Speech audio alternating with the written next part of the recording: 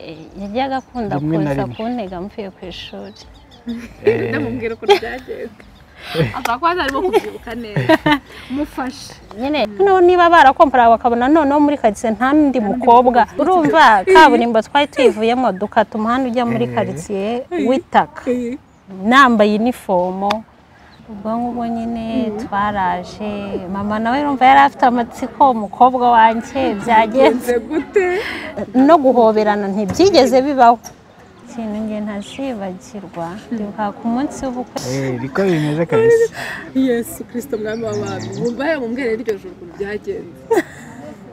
Nari niranze kubabaza iby'amajoro none niyo mumuzanye nimumubwire iryo joro. Nabivuga ikaze mu biganiro byacu byo kuri Host TV show. Nk'uko bisanzwe turi mu busitani bwa St Paul.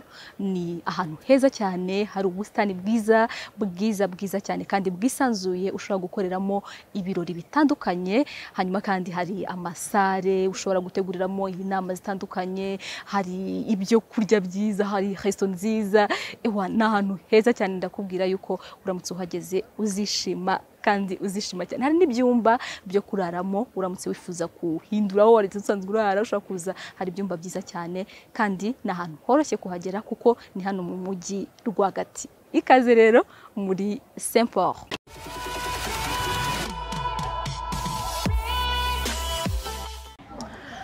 ibihe byiza cyane kuri mwese mudukurikiye mwese mukurikira Rose TV show mbaye ikaze cyane mu kiganiro cyacu kuri uyu munsi.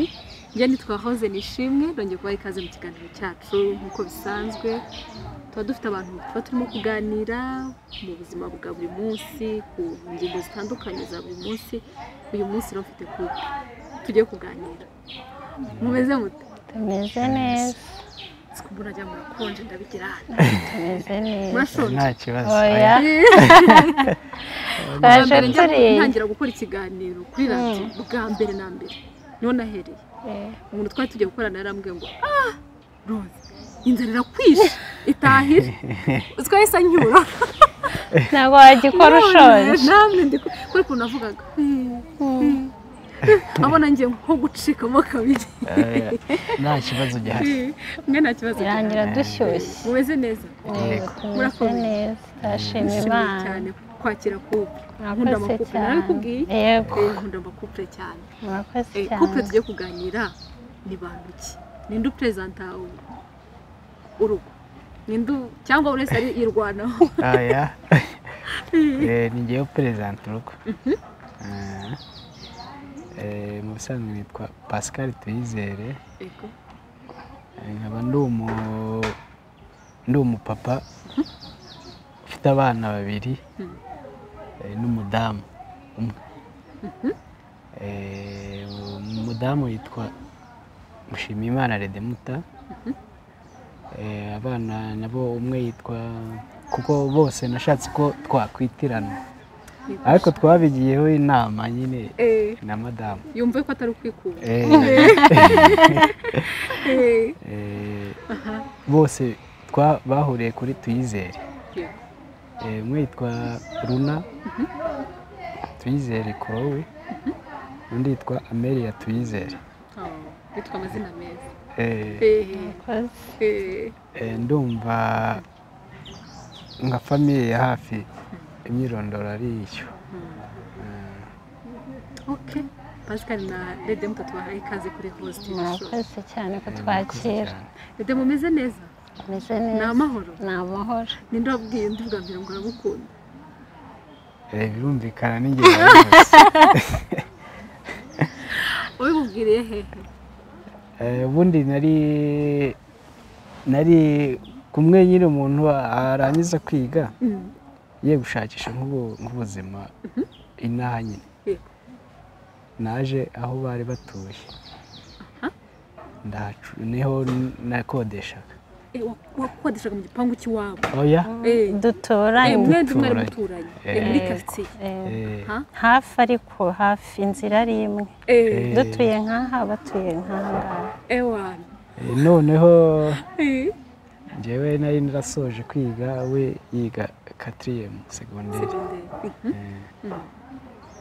Mubona ubwa mbere ntamubonye nta nta nta nubwo na- najyaga akunda kujya mu- ntuza twavuga dufite nabaga mfite abakobwa dukundana nyine ariko nta bintu bya kopinaje eh Eh, biri aho nyine byo ku ishuri. Eh ariko naramubonye mbona bisa nkaho duhuje ariko ntabwo nabimubwiye nabonaga atuje nk'uko nanjye ntuje. Ntabwo nabimubwiye ariko nkaba ndaho hafi. Ariko batabizi. Eh, eh. Uko narabyibuka iyo nabaga haje nk'undi muntu waje nko kumureba. Eh. ah, numvaga ariko atabizi. Waracecetse. Kuko hari agafondasiyo nakundaga kwicaraho akenshi iyo nabaga ntagiye ku kazi yavaga ku ishuri ajyayo akansuhuza ariko nawe nkabona nkaho ariko yaje kumbwira ko yaje naje kubaza. Mbere twarakundanye arambwira ati oya kwari ugusuhuza bisanzwe gusa. Ati nta kandi kantu kari karimo Mm. abaga yiyemera ko wabasanga na yo naramukunze. Eh eh. Nyuma yaho rero ni bwo naje kuhava nimukira ahandi. Nimutse ni bwo naje kumubwira ko mukunda. Wabimubwiye utakiri muri karitsiye Eh, ntakihari. Ariko ntabwo ari agace kamwe. Ntabwo yagiye kure. Eh, ka- n'ubundi mwarabonanaga? Eh, yajyaga akunda kuza kuntega mvuye ku ishuri. Eh. ndamubwira ukuntu byagenze. Ashobora kuba atarimo kubyibuka neza. Mufashe. Nyine twe dutuye hariya nyarutarama duturanye neza nk'uko yabivuze. Eh, noneho nyine tukajya tuganira bisanzwe ariko yabanaga na murumuna we n'undi muhungu umwe. None uwo muhungu urebye ni we twaganiraga biriya urumva mvuye ku ishuri nkoze dushe ndaje ku irembo. Turi kuganira nyine bisanzwe biri aho we mbona acecetse cyane. Nyine kwa kundi ubona ati uriya mutipe manza niyemera. Nyine atavuga adasaba. Nyine ubona aba nta biganiro byinshi. gusa yancaho nyine akansuhuza. Nanjye namubona nk'abaturanyi baje vuba nkamusuhuza. Ariko uwo mutipe babanaga nyine ari we tuganira ku ishuri bimeze bite ari shapu cyane.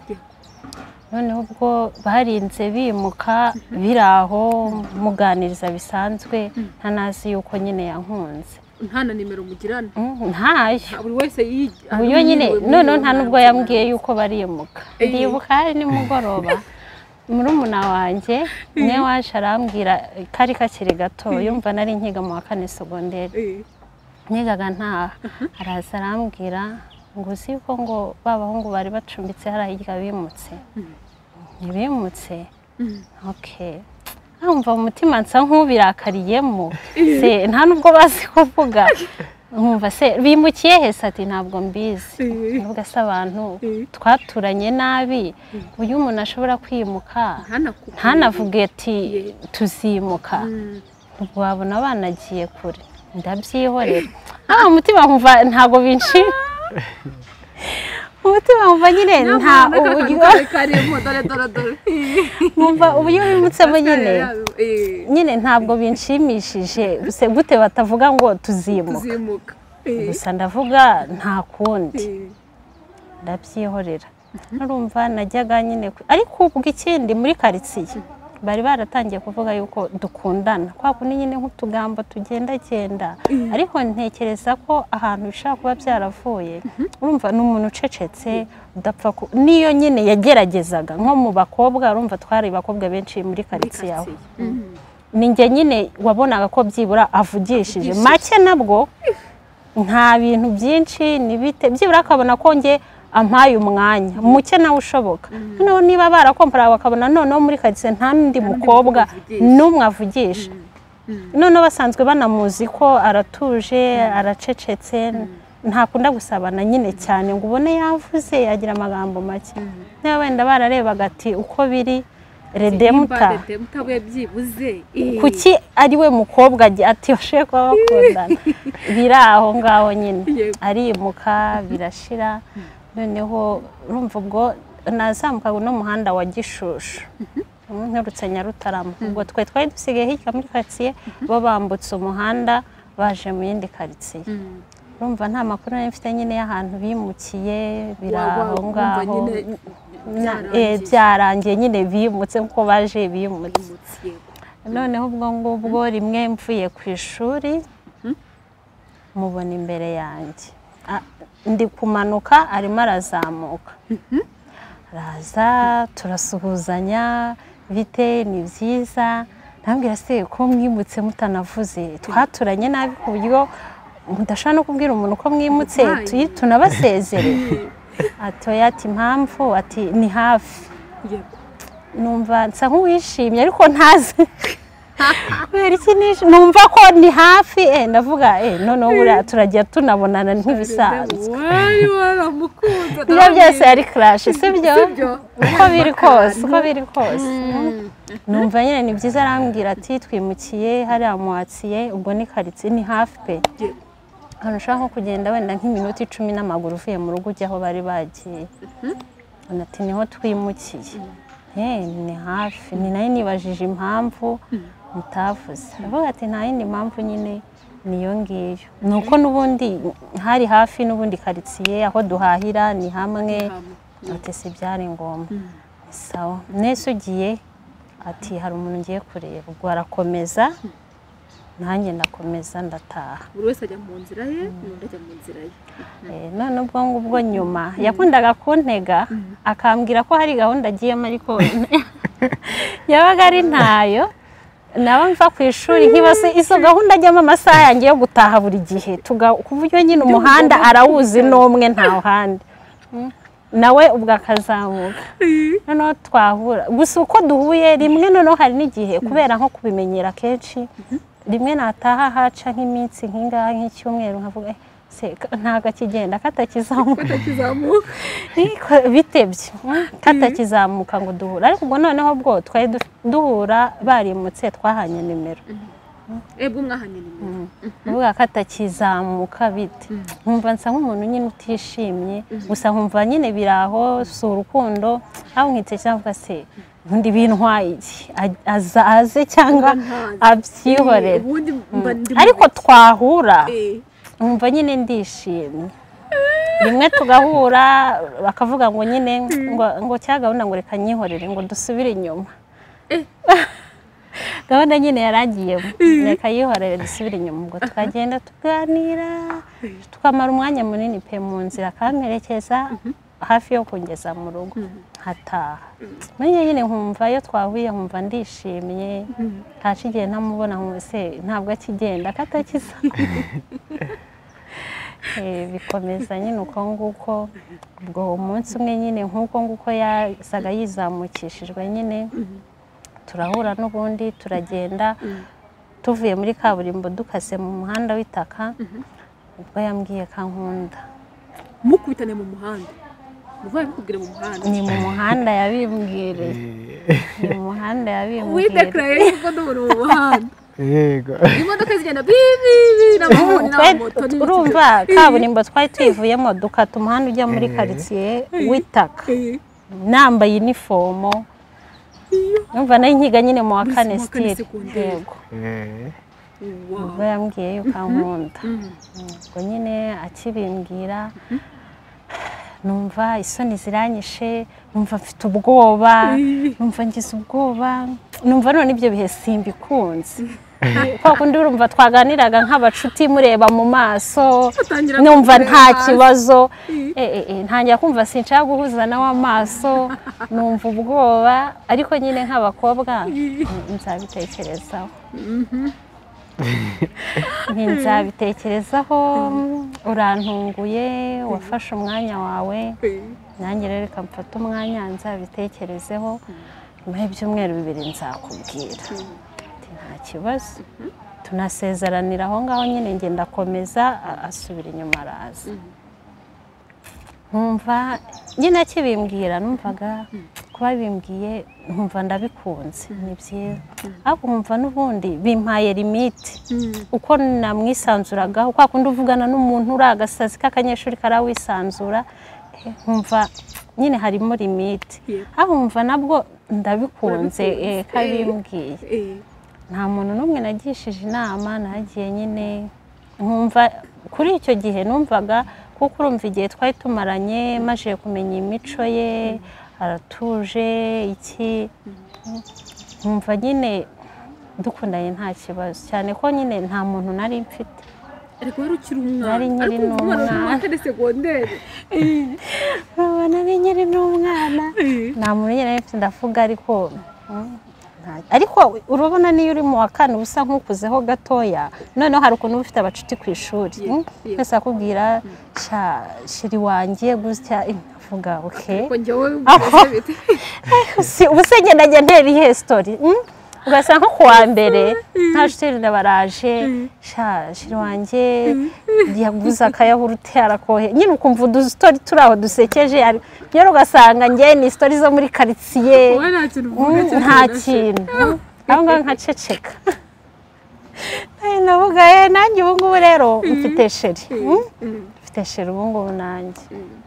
Ubwo haciyeho nyine ubwo niko yakomezaga aza kundi ariko yaza bwo nkumva ntabwo mbikunze. Mm. nanaba ndi gutamva ku ishuri nkumva ntabwo nshaka yuko dushobora guhura.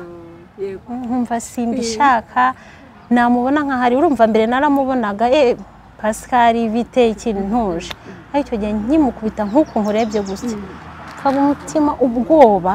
Umutima uri kuduha nkatitira umutima. ku buryo mubonye nka mbere y'uko ambona. Nakata. Kuko hari igihe nabimukoraga ariko naremeye. Hari igihe nabimukoraga Hari igihe- Eh, hari igihe yabaga yantegereje nko muri karitsiye hari ahantu hari umutaka manukira gutya wa mitiyu ya akahaza amasaha yabaga yaza. Nkaturuka nka hariya nkamubona. Hakaba n'igihe duhuje amaso. Nkahita ngenda ntareba ku ruhande kandi nihuta ku buryo n'uwampamagara. Ntaritaba kandi icyo gihe ubwo nari naravuze yego. nkahita ngenda noneho bikamubabaza nagera mu rugo akampamagara nkambwira ntabwo nakubonye. Ati twarebanye. Nterega hari igihe ugira ngo umuntu arakubonye kandi atakubonye. Mm. nkumva pe ndashaka ko dukundana nkumva ndamukunze ariko nyine eh, nkumva noneho ntangira no kuvuga se. Abantu barabona ndi kumwe n'umuhungu. Mm? Mm. abantu barabona urumva mbere tutarakundana numvaga nta kibazo. Mm. Nta kintu nta na kimwe. n'abaratubona numvaga ko ntabwo babyitayeho. Eh, ariko noneho turi ofisho nyine yuko dukundana. Eh abantu barambona ngerede mutandi kumwe n'umuhungu baratekereza iki ko nabaye ikira urumva na nkiri muto baratangira kumfata uko ntari. Baratangira kumva nabaye ikirara Eh, mama niba bimubwira ngo umukobwa wasigaye yirwana n'abahungu ubwo nyine nkahita nkwepa nkahita ntaha nkagira nkumva mbamushuhuje mbamuvugishije ariko nkabihakana pe. Use nabikora umva ntabwo nari wabwira umuntu nakubonye. Nkabwira ntabwo nigeze nkubona. Bikomeye bikarangira ariko nabimukoze inshuro nyinshi. Nkamubona nka eh, waragenda nkamubona Eh, numvaga? Eh, mbabaye. Eh. noneho we yarahakanaga yaba ati ntabwo nakubonye. Noneho umujinya akaba ari bwo wikuba Eh, ariko nasubira inyuma nkavuga ati biriya bibaho kuko naramutaga of course naramurutaga. Noneho na- hari byinshi nihanganiraga kubera ko nyine nabonaga muruta. Eh, ariko dusubira inyuma gatoya eh, aho nagiye numva ndushijeho kumukunda ha- hari igihe nari ndi kwitegura urareba mbere ibyo kwa purayinga bitaraza. Nashatse gukora kandida libure kugira ngo amanota yiyongere nyine mbe nabona buruse noneho njyayo kumutira amakaye ayo ntari mfite. Mu myaka hari amakaye nabaga yaratakaye. Yarayantiza noneho mu gihe njya gukora ikizami ntibanyohereze mesaje nanjye nyine nirya kara Na- naramubwiye ngo nantize ku makaye. Arayantiza mbona nta kibazo nyine atari wa mukobwa wirata. Cyangwa se ubona mbese mbona nta kibazo. Eh, naho naho umuntu arahuririra buriya byose agenda abirebaho Mm. narantije mu gihe ndamubwira mpita nanamubwira nyine ko nzakora ikizami Mm. rero nyuma yaho nyine aza kunyohereza mesaje ngiye mu kizami Mm. kuraje nyine ibintu nk'ibyo Eh. Nibwo nanjye na- navuze ati "Eh, uriya mukobwa kabisa ni uriya ariko kubera ko kubera ko nta wundi nigeze mbwira ngo ndamukunda. Niwe wa mbere warubibwira Ni uwa Eh. rero wa mbere. Abandi twabanaga nyine iyo dukundana biri aho ni inshuti nyine. Ari abashuti basanzwe. Eh, Oh. na ka kantu Eh. buriya ko kuvuga ati ubusa buze ngo wapi? Eh. Eh.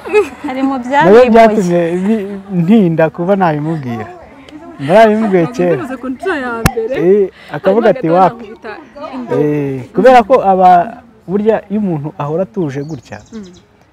rimwe hari abavuga ati ni ubugome ni ugusuzugura ibintu nk'ibyo. Ariko ntabwo ariko biba bimeze. Mm. ntabwo ariko biba bimeze. Ahubwo ni ni karagiteri z'umuntu wenda imana yamuremanye ariko ha- hari igihe nta kindi kiba kibyishimiye. Mm. Noneho nza kubimubwira mbona aremeye. Eh, numva mbese ni cyo kintu buriya cyanshimishije. Kuba warabimubwiye akemera Eh, Ndabaza.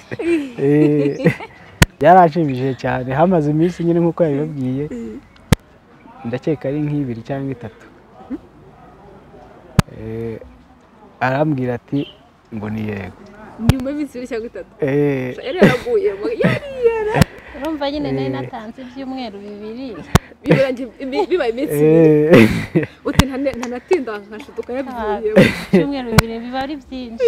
Eh, ngorana kandi itaremeye yego Eh.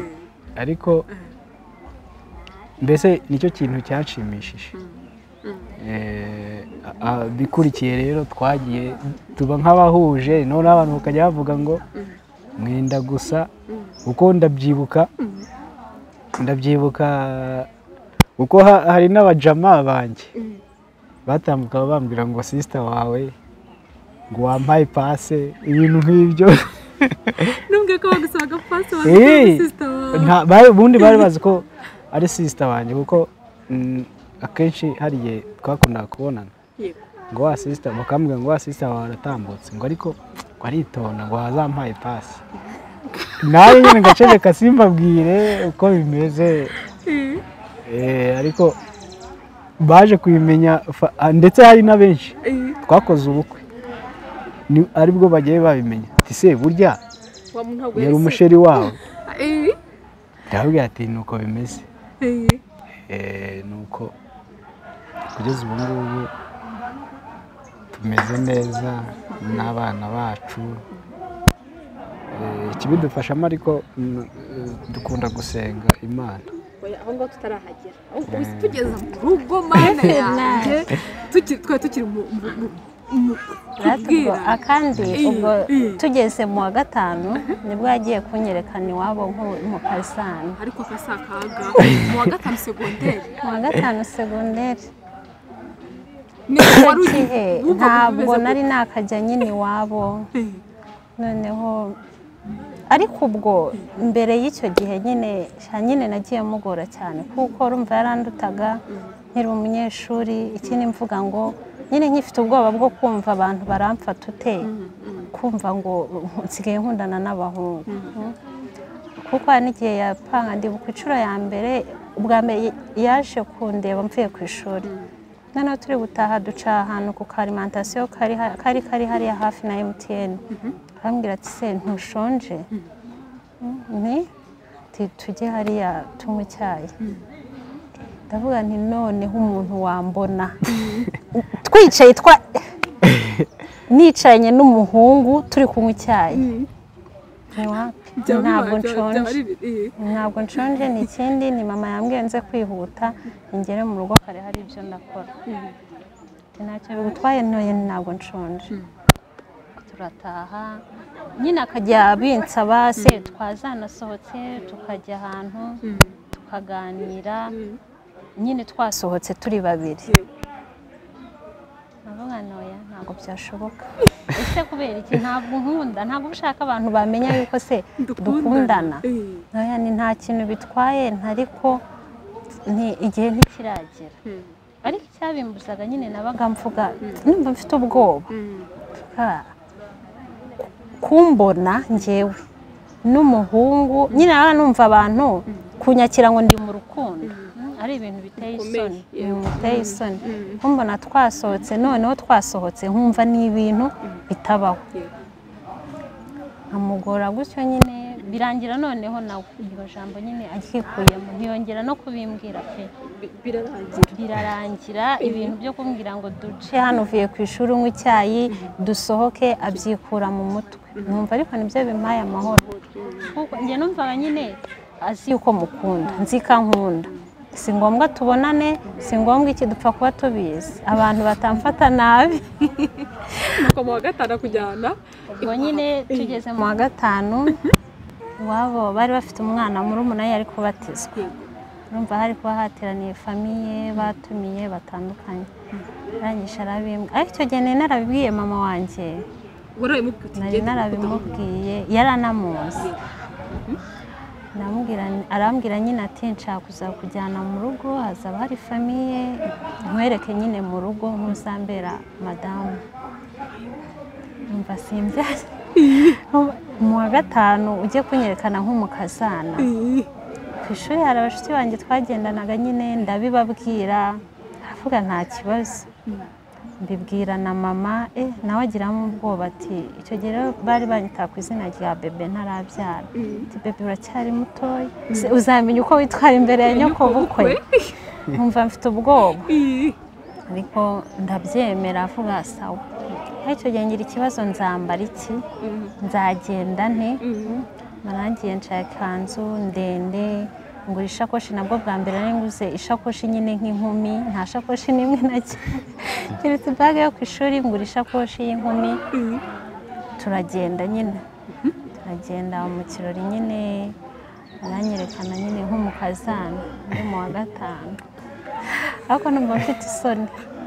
Ndi kumva na byo binzoge ndi kwifata mpita nishushanya niga mu wa gatatu segonderi uwari kunyara ngo agiye kunyerekana umukazana. None ikindi sunde nk'uko nabyaye nari gato gato gato gato kananutse nyine ngaragara nk'akana none urumva nta gasatsi nta ki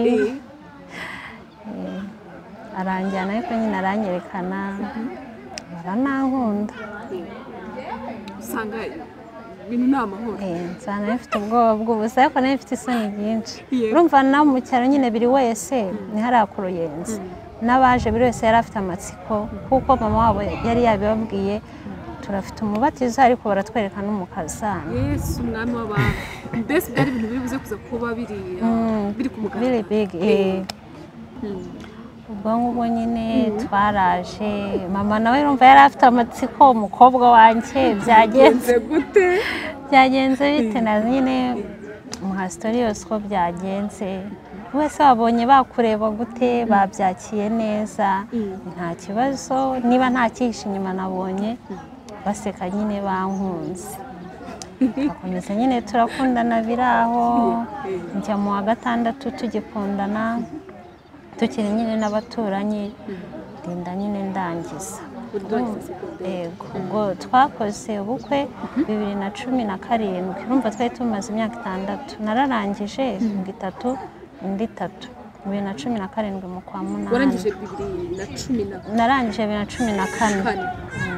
Mukora ubukwe bibiri na cumi na karindwi mbese mwatangiriye urukundo rwanyu? Muri segonderi mu wa kane urangiza segonderi mukora ubukwe nyuma ya segonderi ho imyaka itatu. Ubwo ni imyaka itandatu yose. itandatu yose mwari mumaze gukundana. Ewana yuzuye myiza myiza mu bukwe kwa kwe kwa ariko none nagiye segonderi byari byarashize ibyo kumwihisha Ah, ah. kwanga ko musohoka ubwo urumva narangije.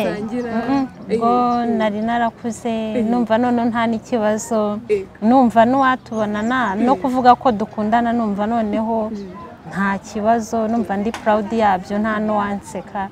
Byaranjemo byarakuje okay n'imiryango yari ikuzi. Eh, n'imiryango yari na- na nzi mama wari waramubwiye. n'iwacu bari bamuzi kuko yazakunsura noneho no mu rugo. Ewa. banahari tuziranye mbese byarabaye urukundo rw'urukundo nyarukundo. Abantu bose bagira. Abantu ntabwo baba mubabwiye ko mufite ubukwe. Abantu ntibi- ntiba abana kuko ibyo bari hamwe nyine abantu ntibyabatunguye Eh, Eh, kubatungura ahanini byabatungura kuvuga ngo ndi muto noneho nawe baravuga ngo ni muto. Bavuga ati se abana babiri. Urumva urukundo imyaka itandatu byo bari barabyakiye ko dukundana nta kibazo. Ariko tuvuze ubukwe baravuga ati muracyari abana mwese. Eh, noneho ngiye kunagarira bakavuga ati noneho bebe warakabije ntabwo yakuba ni abana ari umugabo we ni umwana ari umugore ni umwana. Ati urwo rugo koko mwabaye mwitonze ariko nyine byari biturimo turakomeza turababwire ga ntabwo hubaka imyaka cyangwa ubukuru turaziranye imyaka itandatu twabana nk'umugore n'umugabo nta kibazo baradushyigikira yego ni cyo kintu mutazakira ku munsi w'ubukwe ikintu nge ntazibagirwa. Ndibuka ku munsi w'ubukwe urumva niteguraga ko hari ubukwe ariko umunsi ugeze. Bya bintu birabaye. Ubuse mfite ubukwe koko nkumva nyine ntabwo ndi kubyumva. Ndavuga nti se nkumva nyine mfite ubwo- rimwe ndabikunze ndabishaka ariko n'ubundi nkumva mfite ubwoba. Hari ikintu utazibagirwa ku munsi w'ubukwe Eh, ikintu ntazibagirwa. Eh, ubukwe buri buri bube. Njye numvaga ubundi ni- sinzi ahantu umutima wanjye wari uri. Mm, ahubwo naje njyewe ntabwo nabyiyumvisha ko ubukwe ari bwo bwabaye. Eh, noneho natunguwe n'uko bwabaye eh, kandi bigenze neza. Mbese nta kibazo? Nicyo kintu ntazibagirwa. Mm. Ese wowe ndibagiye kukubaza? Wowe urumva waba umuntu wakundanye ukiri muto wiga mu wa kane Ya, pascal yavuze ko ari ubwa mbere yarakundanye. Nawe bwari ubwa mbere. Oya ariko sitori za za egise zirasekeje mwese ntabwo navuga nanjye rero iyo ntera sitori ntabwo njya mvuga ko mfite umu egisi Eh, mvuga ko nyine byari iby'abana. By'abana. numva nk'ubwo nigaga i musanze toronkome ngaruka i kigali nje kwiga mu wa kane. Mm. nk'abo nakundanaga nabo kwari nko kuvuga arenze umwe arenze babiri. Ariko sinjya mbikurura nyine nk'urukundo. Numva bwari bwa kuko yari nka wa muntu dukundana urumva kuko mbigiyemo muri detaye n'isaha Oya. urumva? Byari bya bintu usanga wenda tuvuge umuhungu ambwiye ko ankunda. Nabwo ntabinyibwiriye yanditse agapapuro agahaye inshuti yanjye irakanzanira. Nanjye ubwo urumva iyo nshuti yanjye yari ifite umusheri. Nanjye nkandika kandi ah ah, ntabwo nandika nkamubwira nti uzambwire ko nabyemeye. Bikarangira uko akaba azi ko mukunda nkaba nzi yuko ankunda Mm, muzi Eh. ariko tukaba tutahura turi babiri. Eh. ntabwo byari gushoboka twahuraga ndi kumwe n'inshuti. eh. niyo mpamvu nawe mvuga ko urebye niyo urumva niyo mpamvu nawe mfite ubwoba mugora.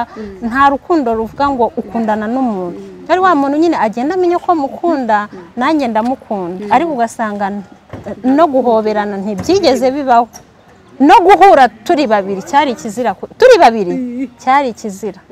Tugahura turi n'inshuti tukaganira ibintu bisanzwe biri aho byo ku ishuri nabwo tugakomeza. Ariko kuvuga ngo ubwire redemuta aca inyuma y'ishuri turi babiri. Ntabwo byigeze bibaho. N'umunsi n'umwe. Bitabaho. Tukaza nyine turi inshuti tugahura kumva ko azi ko mukunda ankunda n'ibyo birahagije. Turabizi nta byo guhura nta bindi by'ikiganiro nta byashara ishusho. Nta byari biri aho ngaho kuko ndibuka nk'agasitari kamwe ndi mu wa kabiri. Ubwo umuhungu dukora nyine yari asigaye avuga ati akantumaho umubwire ndamwandikira buri gihe ntansubize ntansubize. Ikintu nakoze nanditse nyine nanjye ibaruwa pe. Mu ikayi kwa kundi mo hagati. Ndangije mbwira umushuti wanjye ntimerekeza tujye muri karase yabo ndamushyira ubwo abandi bari bagiye gukina turagenda. Umuhungu yicara hagati nicara hino yicara hirya. Muha yabaruwa. Rusome nurangiza ndarusubizayo ntabwo rusigarana. Arasoma arangije urupapuro ndusubizayo. Rero numvaga ko narugumana ashobora kubyereka abandi bantu ko namwandikiye. Niyo baruwa nanditse. Arayisoma ndangije nyine ndayifatanya isubizayo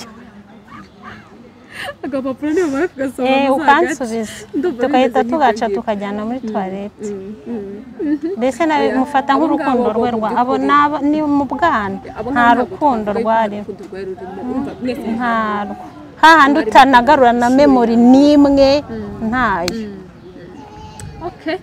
nuko rero mugera mu rugo abantu bakundanye ku nshuro urwo bwa mbere mwese mukundanye nta muntu wese akundana n'undi muntu mbese mugeze mu rugo muri n'abana urugo byabagendekeye byabaye ibintu byoroshye cyangwa mukurikije iyo myaka yose mwari mumaranye mukundana mugira gute urugo ni ibintu bya mbese mugeramo ni iki ibintu byabatunguye? Cyangwa byabaye ibisanzwe koko mwari mumaze igihe kinini muziranye si ibyo wenda sinavuga n'ibanga. Sumva iyo myaka itandatu twari tumaranye. Yego. Nari isugi pe.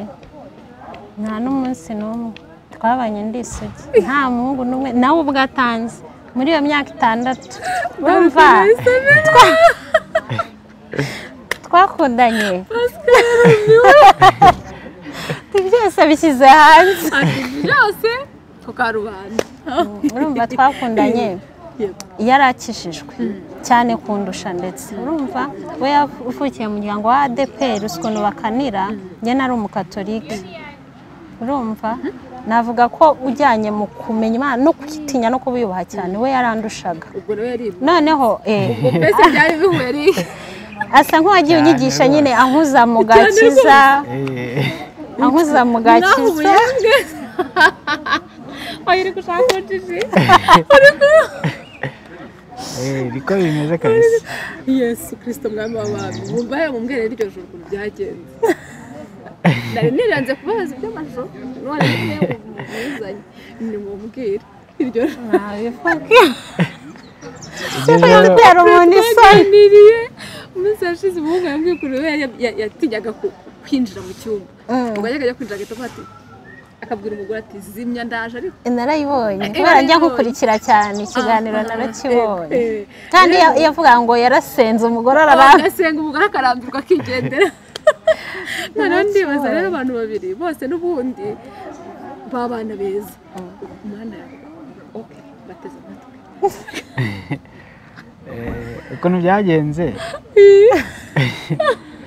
Nyine urareba umuntu icyo yagiye yitwaza.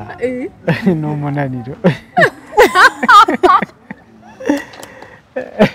Kuri buri umwe noneho ariko nyine uko amasaha yagiye agera nijoro. Eh, urabyumva ariko ntago ntago byabaye igihe kinini. Eh, kubera twese twatunaniwe ahubwo mu minsi ikurikiye eh, buri wese ya- yagendaga amenyera undi gutyo. Eh. Bikagenda biba neza nyine nawe murabyumva Eh, eh, ariko iryo joro rwose twese twari abantu du- duhe bati, tunaniwe "Njye eh. ndinaniriwe." cyangwa buri wese ahita akavuga ngo Oya, nta n'umuntu wigeze ubyitaho eh. Ahubwo buri wese buriya yarabyitaho mu mutima ariko akazajya abyirengagiza avuga ati "Oh, yaba bwari bunakeye aho Eh, kabisa. Eh, ni- no muri iryo joro umuntu aba agifite ibintu by'amasiterese Eh, ntabwo umuntu abitekerezaho cyane. Kandi akenshi biriya ni mu mutwe Ni mu mutwe. Eh, Oya, urumva noneho ha- hagiyemo stress. Ariko noneho hagiyemo no kuba abantu ibyo ni ubwa mbere bagiye Eh. kubikora na byo kabisa. Ngaho bari umbwira n'ubwo bwoba ahubwo ndumva mushobora no kurwara ubwoba runaka umunaniro wazaba numvaga kuko eh, iyo hakiri abantu kuri abarangije gutwikurura barabaherekeje uba wumva nta kibazo. Ariko bagiye bataha bataha twibona turi babiri. Natangiye kubona twarihutishije ubukwe. Naje kubona twari kuba twitonze. Uba nyine ufite isoni wibaza ukuntu uri bwiyambure mm. wibaza ukuntu mugiye kurarana kandi ari bwo buzima nkibaza uburyo ndajya noga ndisiga mu cyumba kimwe kwiyambura byo nkumva ndagowe pe. Ukavuga uti azajya abari aho ngaho ariko nzimwe nzimwe najyaga koga ari ya- none haza cyatuyerekero ansanga muri dushe bwa mbere. Nabuze aho mpisha naho ndeka. kuko no mu cyumba ni ukuvuga ngo nameke ngo arashobora korobe nari naziguze ndende. Ageze hasi. Kwisiga nkisigira nyine imbere y'isume. Yego Imbere- imbere y'isume ntabwo muri segonderi twabigiraga. Ni muri- muri segonderi hano urumva nari mvuye mu cyumba musiga nk'ukiryamye njya muri dushe mu gihe ndi koga numva ngezeho. Agasume ne n'akama kandi kure. Nagira uko nkibaza inyuma se hasigaye ute Na- nagira imbere se ho ari cyo gihe twarashwaye ubwo nararakaye ndavuga se iyo uburetse. Iyo uburetse nkamanza atari ko se ubaye iki ariko nari kumanza nkoga. Ati se turi byakire turi umugore n'umugabo. Niho ya ntiwari kure kandi nkamanza nkoga ntihaza ibyo byose sinakeye kuko Mm, ntabwo nakeye pe. Noze numva mbangamiwe. Rimwe nkumva mbirakariyemo. None ndibuka mbere yaho hari umushyitsi wanjye wari warakoze ubukwe. Njya kumusura. Twari inshuti cyane. yego. ariko ikintu ntumvaga numvaga nti muri dushe imwe mu koga. Nkajya muri nti n'ubu urumva nta soni biguteye. Ati sha byihorera turamenyera ni ngewe ibyo ntabwo byakunda muri dushe imwe nkakuramo tukoga babiri. Atavuga akakoza ni? Ntabwo wankoraho. ntabwo wankoraho. Nyine nawe naramurebaga. Nkibaza impamvu atari no kugira isoni imureba. Ariko nanjye binziye nyine. Mwana bya bintu ntabwo byoroshye. Tukiri aho ngaho. Icyo kintu ni ikihe ki- ni nk'iyihe nama? Ushobora kugira nk'amakupe agiye gu- gukora nk'ubukwe kuri iyo ngingo. Kubera ko wenda tuvuge nabo bagiye ibyo bintu ari ubwa mbere bagiye kubikora cyangwa se wenda umwe ni ubwa mbere undi wenda aranabizi. Noneho wumva umwe mwahuye ibyo bintu mwembi nta reka tugire inama abameze nk'amwe inama mushobora kubagira mu by'ukuri tutararenga iyo ngingo kugira ngo nimba hari icyo mwigiyemo hari icyo mwabonyemo hari isomo mwakuyemo ku buryo nabo bashobora kuryigiraho yewe inama nabagira cyambere nyine iyo mukundana byose biraza sibyo? Iyo mukundana byose biraza. Kandi nyine nk'uko yabivuze kare byose ni mu mutwe. Ubundi uzihisha kugeza gihe ki? Uzihisha kugeza gihe ki? Ngira ukavuga ati n'ubundi naraje. Sindasubirayo. N'ubundi nyine reka nirekure sibyo? Kuko hari ukuntu ushobora gukomeza kwifata ukabangamira mugenzi wawe. Ngira ukavuga ati n'ubundi ntaho nyine ndabicikira. Reka nirekure ntange ibyishimo mwereke ko nta soni. Mbese hari wishyiremo ko ari nk'umukobwa mugenzi wawe urimo urakureba. Eh, kuri kuri ngewe icya mbere eh, ni ukwihanganirana. Nk'uko wari ubivuze umwe hari igihe aba abizi cyangwa se undi abizi. Ushobora kwihanganira utabizi. Mm. uretse ko twari twaba tumaranye iminsi ariko ku bw'iyo ngingo ntabwo bose ba- bahita ba- ba- bateganya ko ko byasa kose. Mm. eh, ku bw'iyo ngingo ntabwo mbese ntabwo babiziho kimwe. Mm. umwe agerageza kumva undi. Ndumva ba- ba- bakoroherana ni ku kintu cyo navuga eh, muri iryo joro. Bakoroherana ba- wa mugani bakihanganira. Eh, kuko n'ubundi Mm. ah, ntahagucikire ni- muzabana igihe cyose. eh, imyaka yose muri kumwe. Mm. Nta- nta- nta- nta mpamvu yo kugira ngo umushyireho kuko hariho abantu bahita banacana inyuma muri iryo joro cyangwa muri iyo minsi kubera yuko nyine ba- barani- bananiwe kwihanganirana cyangwa bananiwe kwihanganira mugenzi wawe utari kubona nk'ibintu ngo akubereyemo kandi mu by'ukuri ibyo bintu ntabyo azi ni ubwa mbere agiye kubijyamo binamuteye ubwoba akenshi akenshi ariko biba kuri ba bantu batabanye nk'igihe kinini Mm. Eh, kuko twari twari tumaze ndumva cyari igihe kinini Mm. ntabwo byigeze bidutonda kuko ibyo yambwiraga nahitaga mbyumva nawe ibyo ambwiye mbese tukihanganirana? Kuko nk'amagambo yambwiraga yose eh, narayakurikiza kubera ko yambwira ko ari vagini nanjye yari uko. Mbese ntabwo ntabwo ufatiraho kuko Eh, ugabanya umuvuduko. Kabisa. Kuko n'ubundi yambwira ati ndi uwawe nawe uri uwanjye tuzaba ari igihe kirekire. Nta kibazo Eh, kuko nibuka ko nabaye nka deverije nko mu minsi ine pe ine itatu ni bwo bavuga nabaye nka deverije tubana kubera nyine ni byo byari yavugaga nyine byo kugerageza kwihangana kugira ngo mu by'ukuri umuntu ha ngenze gake ugenze gake aha eh, okay ubwo mugeze rero sasa mu rugo noneho mwamaze kumenyera hari ibindi bintu byabacanze? Eh, ibyo ntibyari kubura. Ntabwo byari kubura. Eh, kuko ari ukuntu abantu bu- bumva yuko bakundanye igihe kirekire niyo mpamvu baje kino kibazo kugira ngo wenda n'abantu baba ba- ba- ba- baba bakundanye igihe kirekire bumve yuko wenda iyo bageze mu rugo. Hari ukuntu umuntu yumva ko eh, kuba nkundanye n'umuntu imyaka itandatu icumi mbere ko dukora mariage nitugera mu rugo ibintu byose bizaba byijyana niko byagenze cyangwa hari n'ibibacanga urebye Eh, ariko nta bintu byaducanze cyane kuko tumaze gukundana neza n'ubundi twarasohokaga twagira nk'ahantu tujya gufata ifunguro nta kibazo mbese nta kintu cyaducanze urebye. Yego. Eh, muri mu rugo nta bintu byagucanze ukigeraho ibintu byo ntibyabura ariko nyine ntabwo byari byinshi. Urumva icyo gihe twari tumaranye yari azi icyo nkunda. Azi icyo nanga nzi icyo akunda nzi ikimurakaza nzi ikimushimisha. Gusa nk'urugo urumva mu rugo we yabaga geto ariko ngiye mu rugo ni mama ibyo wabimenyaga wenda bimwe. Noneho inshingano ni ngiye zijeho. Ndamenya ngo amafaranga arakora iki? Ndi umukobwa wenda ndamenya ndagura ikanzu ntawe mbajije. Ibyo ngibyo birarangiye sinkigenga njyenyine tugomba kubiganiraho byose. Ikindi kumenya ngo saa sita ndateka iki nijoro ejo ibyo bintu byarangoye.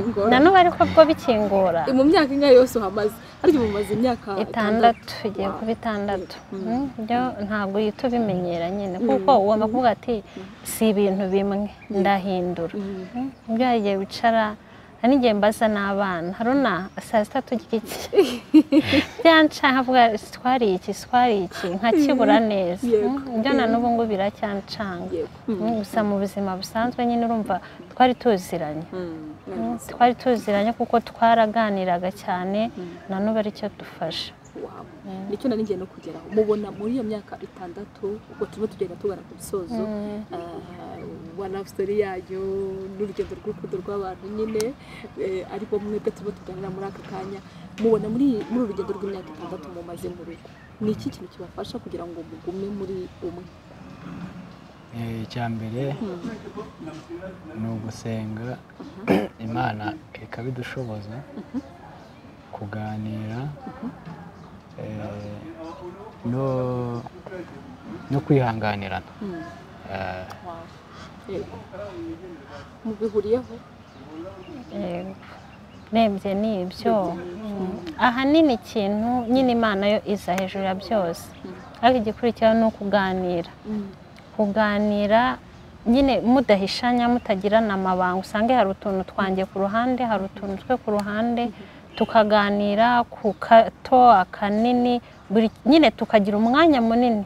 Wo kuganira. None iyo muganira cyane muba inshuti cyane. Mm. muba inshuti cyane kubera nyine mwaganiriye cyane. Muba inshuti cyane ntimutinyana iki nakongeraho nyine kubahana kuzuzanya icyo adashoboye ukagikora umwe ahuze ukabikora. Nyine utumva ko urabona hari ibintu we ntamubonyeho ariko najyaga numva nyine ko ariko biba bimeze wenda mu bandi. Ugasanga nk'urugo nyine rurimo umugabo. Niba tuvuge mwiriwe mu rugo nko kwa gatandatu akenshi tuba turi mu rugo twese. Mm, ugasanga wenda umugabo ni televiziyo niba wenda ndi gukora ikintu umwana ntiyanamukuriramo pampa ntiya navuga mpereza ako ngako akazana. Mm, mm. ariko we si uko nguko. Nyine arakora byose aho n'abana ko nazi guheka abana? Oh. Eh, abana kandi nawe umwana nyine. Baranabikunda cyane umukuru. Eh, kandi igihe ava mu kazi ngo turaryama nuko wampetse. Okay. Mm, akamanza yambaye. Nyine ntago Mm, ari wa kwa kundi wumva eh ngo umupapa wo muri rarugo ukumva ni nk'inta. Nyine yikakaza akunda icyubahiro ku rwego nyine rwo hejuru. Yo nyine arabyoroshya mm, akumva nyine ntacyo bitwaye. Which is good. Ni byiza. Eh, Eh, nibaze ko ikiganiro nk'iki ngiki haba hari abantu benshi bari kugikurikira by'umwihariko amakouple n'ubundi abari mu rugo abitegura kujyayo uko byagenda kose haba harimo ikintu baba bari buze kuza gukuramo. Akumva ariko kugera mu rugo nimba umugore wawe ashaka gushaka avuga ngo kuba umugabo wanjye amfasha biranyura. Mm. agahita yumva ko nawe igihe cyose azagera mu rugo azajya afasha umugore kugira ngo abashe kumushimisha koko.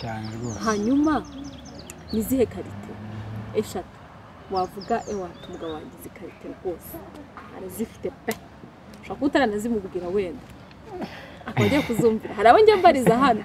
Ugahita mbwira ati eee akazi ko kabazo atarakaza tutarakaganiraho eshatu gusa. Gusa birangora guhitamo. Kuko icya mbere nkunda ko aca bugufi cyane.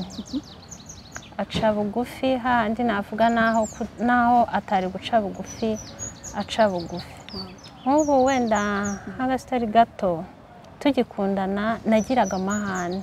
Tutari abana nyine mu rugendo rwa mbere tugikundana.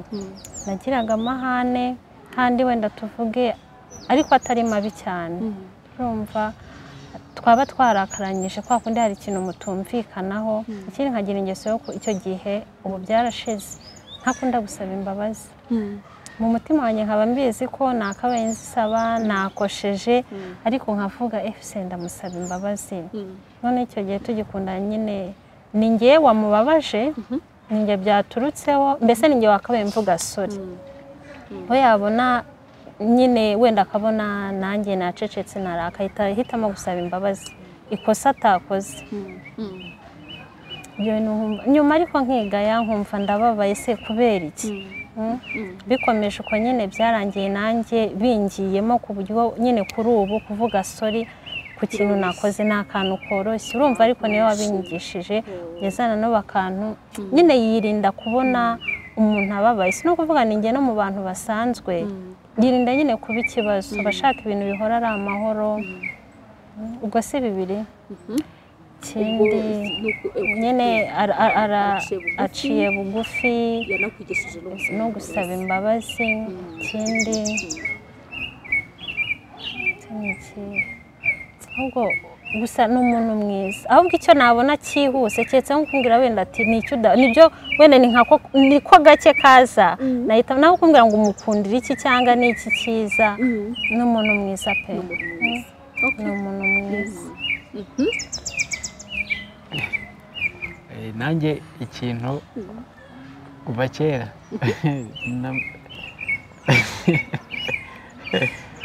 Eh, aseka neza. Ariko icyo ni icya mbere. Icyo nako ntabwo kigize ahubwo buriya agira impuhwe. Cyane ariko. Mm, eh, ndabimukunda nawe nkunda umuntu ugira impuhwe kandi nawe ni wa muntu utishyira hejuru.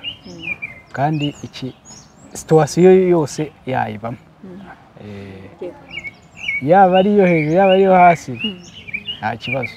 Kandi ibintu byose byaza ari situwasiyo ikomeye yose abifata kimwe. Eh, ikindi buriya arakizwa. Arakizwa hari n'igihe urara mu rugo hari igihe ujya kubona ukabona nk'aho ah, bisa nk'ibimeze nabi.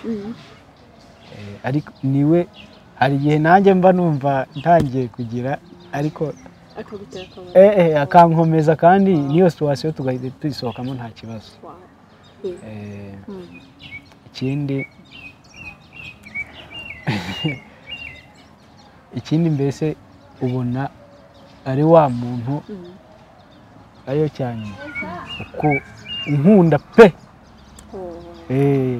Biranshimisha cyane nawe ukabibona Eh, ewana udababyumvise ufite amanota Eh, ndumva eh, n'ibindi byinshi ariko ibyo ni byo biri pirinsipari yego. Mm. mu bintu biri fizike bigaragara icyo cyo wakitubwira tubwira ko aseka neza. Aha. Atuma nongera gusa ntabwo twajya kuvuga tutagutera isoni. Wowe ukiri mukunda mu bintu bigaragara. Physical appearance. Physical appearance. Buriya nini iyo ubimenya iyo ugihura n'umuntu bwa mbere hari akantu kahita kakurasabuza Okay, ako ngako Eh, vuga ikintu namukunda nyine ni uko nakundaga umuntu nyine unanutse unsumbaho nakunda umusatsi we uko nyine agaragara gutya wese Eh. ndamukunda okay. mwabyumvise ni ibyo ngibyo bahisemo Eh. yego eh. Ah, hanyuma mbere y'uko wenda turi buze gusoza iki kiganiro twari turimo tugirana ino couple mubona hano imbere yanyu bafite youtube channel dede muyitwa ngo yitwa iki? Yitwa Eh. dufite youtube channel yitwa derede pasi family. Ni youtube ima- hariho nka videwo enye Mhm. twayitangiye muri uku kwezi ducishaho ibiganiro bitandukanye turi nka couple gutya kuri topiki zitandukanye cyangwa ibiganiro ndi njyenyine cyangwa ibiganiro turi gukina n'abana. Nyine ni iya famiye Yego. Ni ukuvuga ni byo bizajya binyuraho ibyo biganiro ni byo tuzatubona yego ni byo muzaza mubonaho bya famiye bitandukanye Mm. wenda aho twasohokeye aho twagiye gukina n'abana ibitekerezo mfite nabona ko uwareba ikiganiro byamugirira akamaro turi kumwe inkuru nk'ubu tuba tugize ikiganiro ntabwo inkuru y'imyaka inga yose nyine twayivuga ngo irangire.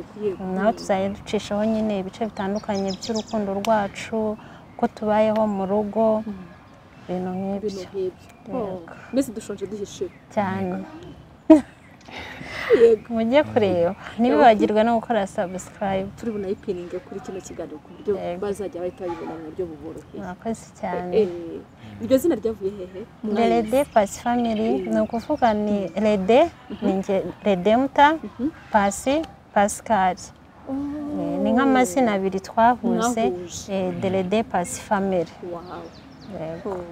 Muze kuza kujyayo mukore subscribe kuri youtube channel yabo ndetse no kuyipininga aho hano ku- kuri kino kiganiro turimo dukorana ku buryo mu by'ukuri muze guhita muyibona mu buryo bworoshye. Ni ukuri mwakoze cyane. Mwakoze cyane kurwa mwakoze twakira cyane. Eh, murakoze cyane kudusangiza kuri urukundo rwanyu yari nziza ni murumva ni couple yamenyanye kuva kera mukiri batoya ariko urukundo rurakura rurakura rurakura rurakura Yego. kugeza igihe uyu munsi nyine muri umugore n'umugabo. N'abana babiri. n'abana babiri. Bibaza biraryoshye imyaka ingahe yose mumaze mu rugo mwishimye muri mu mahoro kandi nyine mwaratangiriye aho hasi. Akenshi abana batangiye gutya muri segonderi hari ukuntu abantu baba batega iminsi. Babumva yuko bitazaramba ari ibintu bizaba iminsi. "Eh, abana n'iby'ubwana ni ibintu biri aho ngaho. Ariko nyine iyo ugize imana ukabona couple abantu babanye muri icyo gihe bakundana icyo gihe bikageza uyu munsi bigikora. Uko biba bisa. Yego. hari n'ukuntu bitera imbaraga buriya bari abana bari gusigaza kuvuga ati eee kumva ibyo bintu byacu bishobora gukomera birakora. Yego bya bintu birakora. Eh, mwakoze cyane rero imana ibahe umugisha mukomeze kugira ibihe byiza ndabifuriza amahirwe masa mu rugo rwanyu muri shene yanyu nshyashya mwatangiye muduhe ibiganiro byinshi byinshi byinshi byinshi byinshi byinshi Eh, natwe turabashimiye mwakoze kutwakira kuri Rose TV show. Nagukundaga ntarakubona amaso ku maso ariko nakubonye. Kandi wakoze kutwakira. Mwakoze cyane yego murakoze. Tukabashimiye nanjye nabashimiye kunyicisha bugufi. Eh, mbese Wabibonye. Eh, umwana mwiza Rose Eh, okay, murakoze ndabashimiye. Uziko nari ntarimenye ko ari njye muri gutera umutoma ntabwo ari kureba gutya ari kubwirana. Bigize ngo ni wowe uri kubwira. Eh, murakoze ni ukuri imana ibahe cyane. Mwakoze cyane cyane cyane cyane kudusangiza. Uyu mwanya ntabwo uba ari umwanya upfuye ubusa ndabizi neza yuko ah, nkunda amakupure ariko mfite n'abandi bantu benshi cyane barakunda kandi bafite icyo bayigiraho. Yongera no kugarura akuntu mu rukundo rwabo. Kandi ni byo twirirwa duharanira umunsi umunsi umunsi ku munsi. Imana ibahe umugisha rero mukomeze kugira ibihe byiza amen. Mm.